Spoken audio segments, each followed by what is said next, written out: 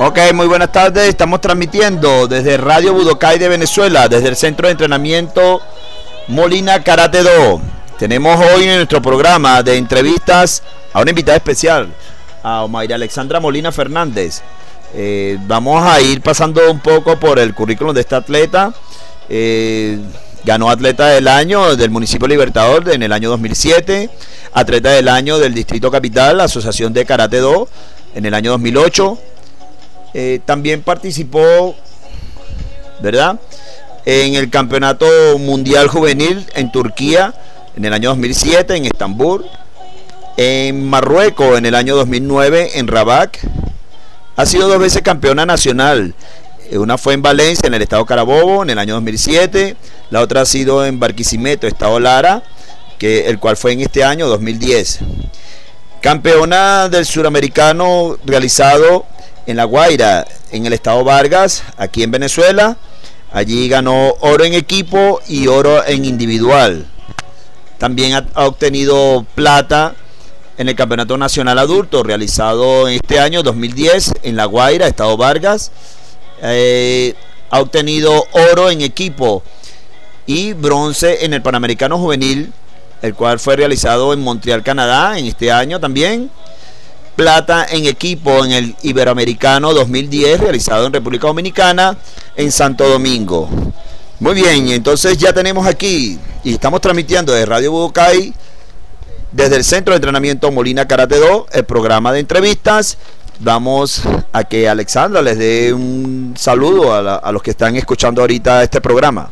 Bueno, ante que nada, un cordial saludo a mis familiares y amistades y gracias a esta invitación a Radio Budokai. Ok, muy bien Alexandra. Bueno, vamos a realizar con, un grupo de preguntas que tenemos por aquí. Este, cuéntanos, ¿cómo ha sido para ti eh, el haber afrontado estos compromisos en tu vida? Bueno, como una experiencia importante para mi desarrollo en esta disciplina, lo cual ha sido, lo cual no ha sido fácil, pero con constancia y empeño he podido lograr. Ok, Alexandra, este, eh, algunas palabras de incentivo para los que se inician en este arte marcial, en especial para las señoritas que se están iniciando. Bueno, que, que la disciplina del karate do este, es importante para un mejor desarrollo como persona y que pase lo que pase, sean constantes, luchen hasta y no se rindan hasta lograr su cometido. Ok, muy bien, Alexandra. Este, otra, otra pregunta más. Mira, háblanos de una anécdota en forma breve que te sucedió en Montreal, Canadá. La mejor anécdota fue cuando ya habíamos competido en individual y los resultados no fueron como deseamos, pero todavía nos quedaba una oportunidad en equipo y eso nos animó mucho a mi compañera Michelle Martínez, a mi otra compañera Daniela Guerrero, Yarima y mi persona para poder cerrar con una medalla de oro para Venezuela, lo cual lo logramos. Ok, muy bien. Este, dime, eh, ¿qué opinas tú del karate do actual, Alexandra? Que en el transcurso de los años ha evolucionado con, con mejoras en los equipos, ya sean espinilleras, zapatillas, y ahora los jóvenes entre 14 y 15 años tienen que usar caretas especiales. Todos estos cambios se han hecho con la finalidad de que, bueno, que el karate do sea aprobado por el Comité Olímpico. Ok, Alexandra, este, mira, eh, ¿Cómo observas tú la gestión de la Federación Venezolana de Karate Do? Que ha mejorado mucho porque los atletas adultos ahora los, los foguean en competencias europeas como, como Open de Francia, este, eh, que y también ahora los atletas juveniles, tanto adultos, los constantemente cada dos años los llevan a sus campeonatos mundiales, lo cual eso es importante porque uno tiene un mayor fogueo.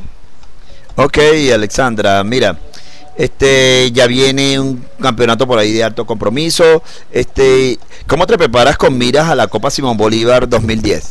Con mucho optimismo en representar a mi organización, ya que tengo varios meses entrenando constante y espero dar buenos resultados. Ok, bien, Alexandra. Bueno, vamos con la pregunta que yo siempre hago y que dejo a todo entrevistado, que la dejo así, como dice, me va saliendo, vamos a decir, espontáneamente. Alexandra, este, háblanos de tu parte, eh, vamos a decir, tienes novio, explícale aquí a las personas cómo te sientes tú, eh, ¿hay algún pretendiente por allí en particular? Háblanos de él. Bueno, la verdad no, no hay ningún novio ahorita, no, solamente amigos, amistades, pero novio como tal no. Ok, bueno chicos, ya saben, no tiene novio, eh, las puertas están abiertas para muchos, así que bueno. Este, bueno, Alexandra, vamos con una última pregunta para que este, las personas más o menos entiendan que este es un programa de corte, ¿verdad? Sencillo. Este, ¿Algún agradecimiento para alguna persona en especial? Claro, a mis familiares, a mi papá, a mi mamá, mi papá que es mi entrenador, eh, Alexis Molina, y mi tío que es también mi entrenador, Juan Molina. Eh, ahorita en estos años me ha incentivado mucho mi hermano, el cual también practica Karate Do. Y bueno, y muchas amistades que me han apoyado en las buenas y en las malas. Ok, Alexandra. Bueno, muy bien. Esta ha sido una entrevista. Este, Alexandra se incomodó un poquitico porque estoy tomando café, entonces se cayó un poquitico la taza y se ustedes lo notaron allí. Estamos entonces, bueno, para finalizar ya esta entrevista, Radio Budokai desde el Centro de Entrenamiento de Karate Do del programa Entrevistas hasta otra nueva entrega, otro nuevo programa.